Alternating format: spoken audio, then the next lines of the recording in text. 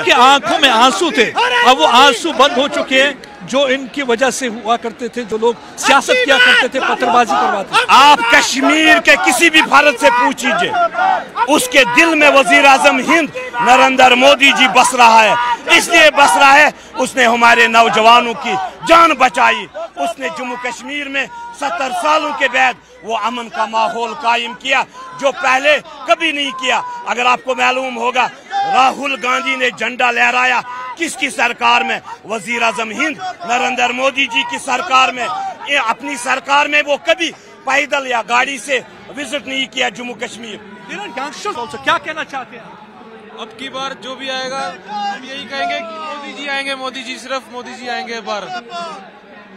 कितना उत्साह है आप लोगों में आज? जनाब, हम पहाड़ी समुदाय के लोग हैं। Basically my name is Ghulam Murtaza Mirza from Darhal Malka हम दरहाल से सर आए हुए हैं। पहाड़ी समुदाय के लोग हैं हमारे।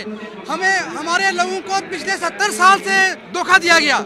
हिंदुस्तान की तमाम पार्टीज़ ने हमें धोखा दिया। हमसे वोट लिए हमें कुछ नहीं दिया। पहली बार मोदी सरकार ने हमें इंसाफ दिया। हमारे लोगों को एस स्टेटस दिया है।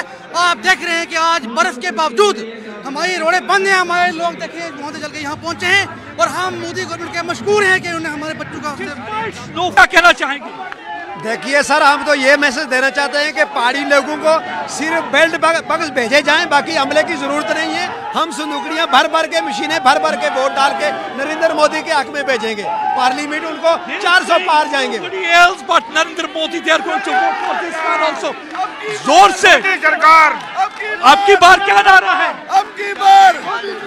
मैं जिला आपकी बार चार सौ नारा है आपकी बार 400 पार।